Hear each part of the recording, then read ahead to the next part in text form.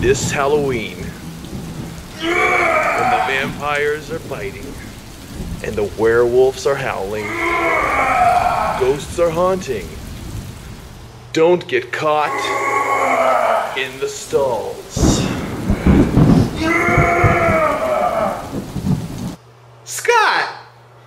What are you doing performing bicep curls with your neck flexed forward?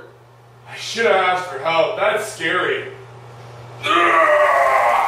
This Halloween, don't be scared to ask for help in reaching your training goals. Contact Train Daly or Stoy Fitness and have a happy, ghouly Halloween.